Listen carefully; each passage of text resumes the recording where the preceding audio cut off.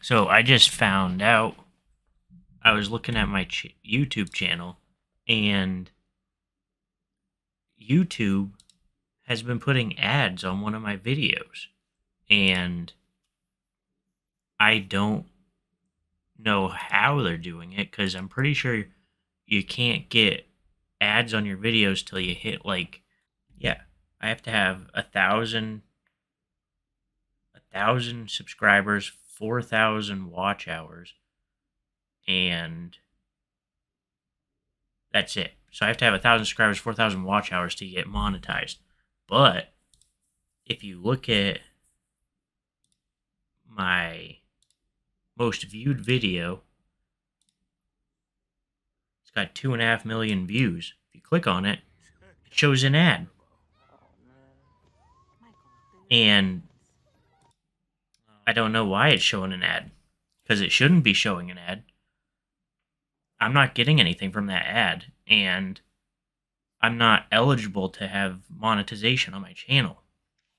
But YouTube is like allowed to put ads on my videos without without um telling me apparently because like i don't even want ads on my videos if i'm not making money like i'm not gonna have some let i'm not gonna make somebody sit through an ad to watch one of my stupid videos but there's ads on it which is weird to me it's weird like why how does YouTube? Because I thought YouTube did this so they don't put ads on ridiculous stuff, and there's no way that somebody, like, somebody from YouTube went to my channel and was like, "Oh yeah, he's not doing anything insane. You can put ads on there."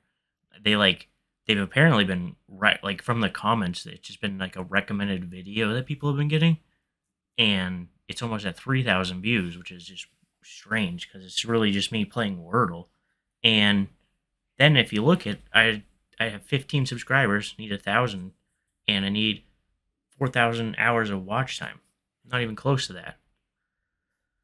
So I'm a little confused about that. I don't know anybody will see this video, but if somebody sees it and has an answer for me, that would be great. And that's uh that's pretty much it.